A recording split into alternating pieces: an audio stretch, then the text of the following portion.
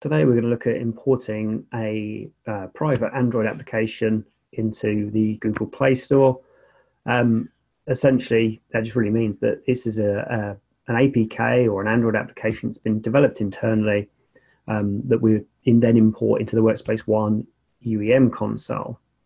Now, previously, when you did this, um, the application, uh, I'll show you where that would reside, would reside in the native list and the way it's being done uh, now, and I think the preferred method from Google is to import it into your, your, your private Google Play Store. So if we go into public, although it's not a public application, this is the way it's handled. We select add application, and then I'm going to select the platform, which of course is going to be Android. if you leave this blank, I found it can take a little while. So you can just put any word in here, and then that would force it to search the public app store and return all applications. So we'll let it do that. Okay, and then on the left here, you can see I've got my private apps. So I'll select private applications.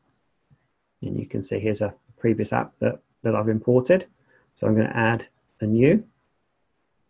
So I can give it a name now or after I've added the uh, MPK, sorry, APK. So I'll just do demo, oh, demo app. And I'll do upload and from there, just put that in my temp directory, type APK. From some of the testing I've done previously, when you import, if the application has been packaged up and marked um, as debug mode, it would complain about that here. The fact it hasn't um, typically leads to a successful import.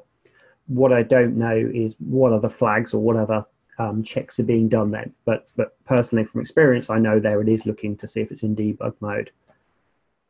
Okay, so if I then hit create, what I'll then do is import that APK and add that to my uh, private store. Okay, so that's done. That's successful. That's in.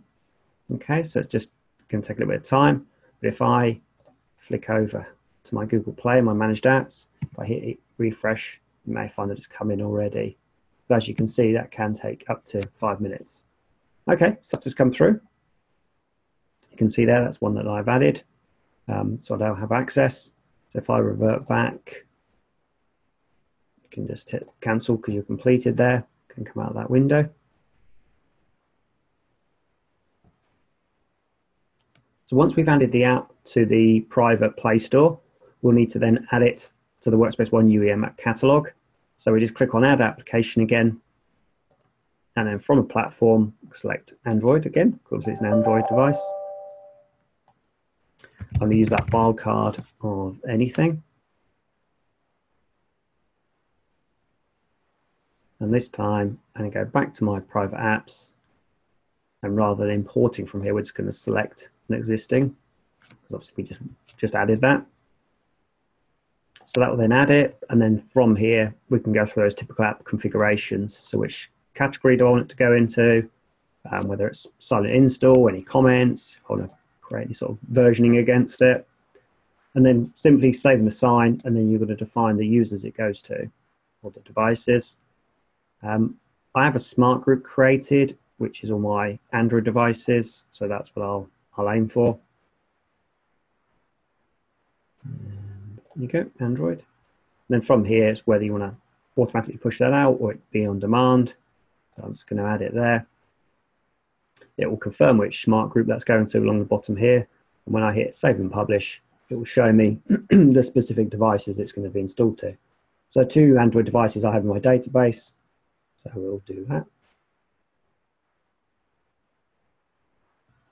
And then you can see there it is in the app catalog. So it's now available for you to uh, push out to your different users. So thanks for your time. I hope this was of use.